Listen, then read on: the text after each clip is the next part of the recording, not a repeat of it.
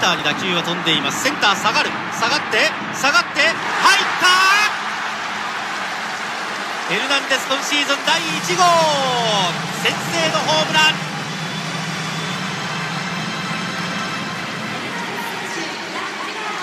第1号のソロホームランドラゴンズ先制です。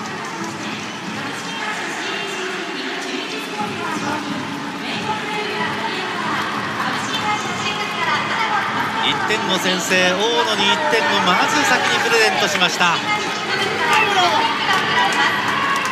そして亀澤が盛り上げました。さあ今の一打ですがキャッチャーも高め要求でした。ですから高さとしては要求通りの高さでした。要求通りのところに投げましたよね。はい。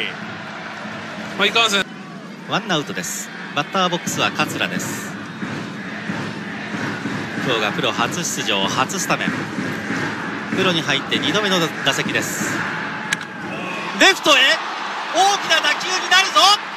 入った入っちゃったですね。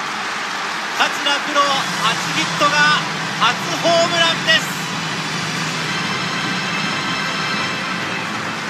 いやいやいやいいや素晴らしいですね、え初めて出てですねホームランですよ。プロ初ヒットはホームランですすごいデビューになりましたね。ですねこれは本当に今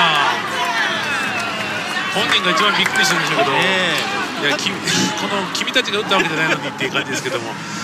えただまあ盛り上がりますよね。ですね。まあ、この辺りいやーしかししっかりと捉えましたもんね。振り抜きましたもんね。強気がリードするんですよね、えそういったところはですねやはり失点が逆にですね。えここもそうですね。あーあーっとちょっと甘く入った。真ん中入りましたね。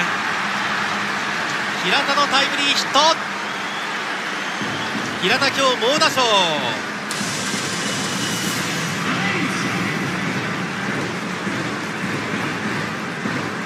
平田はやはりツーストライクね、はい。追い込まれてから、まあ、甘いとはいえですね低いフォークボールもあるそして変化球で透かすんじゃない